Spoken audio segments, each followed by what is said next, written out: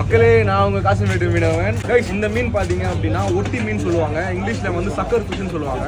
So எதனால சக்கர் fish அப்படின்னா இந்த வாய் கீழே இது பார்த்தீங்களா ஸோ இந்த பார்ட் பார்த்தீங்க அப்படின்னா சொரா மீன் எங்கெங்க இருக்கோ அந்த மீனை வந்து ஒட்டிக்கிட்டே வாழ்றதுனால தான் வந்து ஒட்டி மீன் சொல்லுவாங்க. ஸோ சொரா மீன் உலக நாட்டில் எங்கெங்க இருக்கோ அந்த இடத்துல இந்த மீன் இருப்பா போல.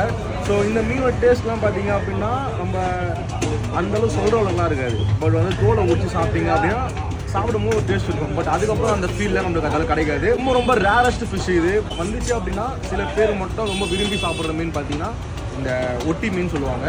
பட் வந்து நிறைய பேர் வந்து இதை வந்து செருப்பு மீன்லாம் சொல்லுவாங்க. செருப்பு மீனை வந்து ஒட்டின்னு சொல்கிறவங்களுக்கு இதுதான் வந்து உண்மையான ஒட்டி மீன். சரிங்களா? So thank you so much for வாட்சிங் திஸ் வீடியோ கைஸ்